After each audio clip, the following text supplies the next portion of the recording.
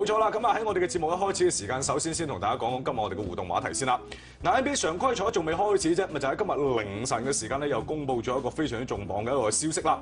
呢个改革就系讲到二零一八年嘅全明星赛将会咧就取消东西岸嘅分区，咁而全联盟所有嘅球员统一咧就系接受呢个嘅投票，咁而得票最高嘅两位咧就成为各自嘅队长啦。跟住咧就睇队长再喺呢一扎人入边咧就自行拣人。呢一个就要问一问大家啦，嗱，对于呢个。改革大家系點樣睇？而喺等間我哋嘅節目過程當中，亦都會詳細咁同大家講一講呢個改革嘅主要嘅目的同埋呢個嘅詳細嘅細節係乜嘢嘅？係啦，咁聽落呢個。